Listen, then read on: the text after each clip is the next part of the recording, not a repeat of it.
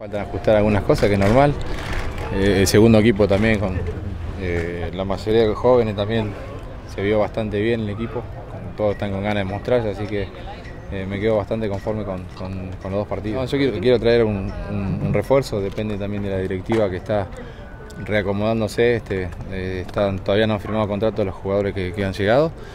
Yo tengo tan adelantado bastante las conversaciones, ya creo que están 90% de la mayoría y, este, y acomodándonos para, para ver si hay otra, otra plaza. Entonces estos partidos a mí me sirven para evaluar a ver en qué zona nos, nos podemos fortalecer. Este, y bueno, hay que, hay que esperar un poquito para, para ver la directiva, eh, un plantel pensando en la liguilla. Este equipo está diseñado para, para pensar eh, estar en la liguilla y en la liguilla son, son partidos diferentes, son partidos fuertes. Siempre necesita uno gente de experiencia para resolver eso eh, en esos partidos.